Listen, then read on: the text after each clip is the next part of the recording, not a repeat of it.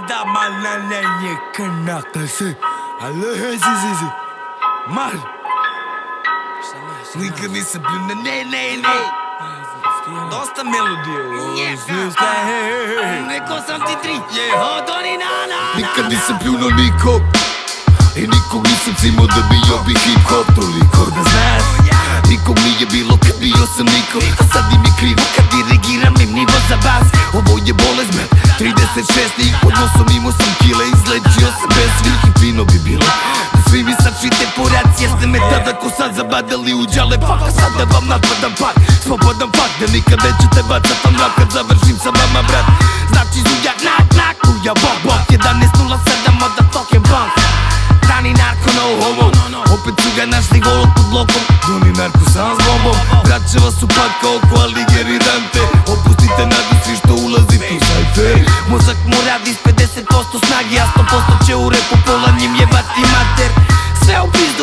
majke Tu sam za punjare sa sto droga and the motherfucking house friend Vadim nunčake da naopake pace Skinem na cake moje da na njima slomim slanke. Bez banke sam nepredvidljiv haber i malo me lave Ima da bi te pitao za pare ili life friend Ja ne bi bio ja Da nije bilo lakih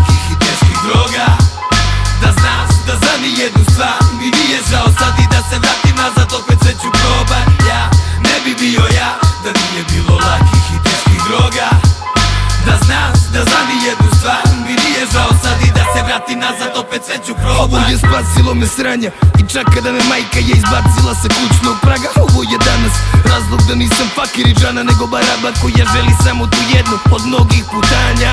Od mnogih sam danas jedina glava Što sad može posle svog sranja. Drogi Ne znaš me brat i ne znaš da i tad sam znao za nešto Što ti ne znaš ni sad i možda ne znaš da sam Prošao pakao i mrak da mogu bi postati ja i ostati sam A što je ovdje bilo fucking hard Sanja u krevet, normalan džemper i deke. Jer znam da će snijeg uskoro osjeća stepen po stepen Padati mada se fakat je teško zadržavati tih prvih par dana. Hlada Da ne bi počeo plakat Bio sam jak brat koliko sam bio i jadan Bio sam gladan, toga meni je sram ni danas. Kada sam padao ja sa mnom je padala nada Zaglavio se dušom i me ne jebe s jedne nego napada sa svih strana. I od svih je rana možda da imam samo još dva danas. Ja, ja, ja Ja. Ne bi bio ja Da nije bilo